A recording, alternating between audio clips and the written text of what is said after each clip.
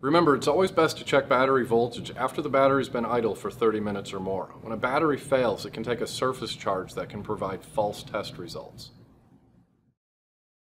Set multimeter to volts DC.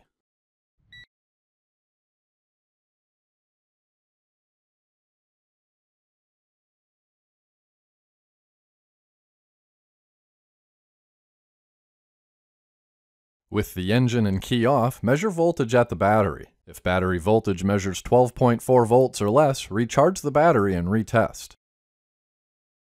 If battery voltage measures 12.5 volts or more, continue with testing.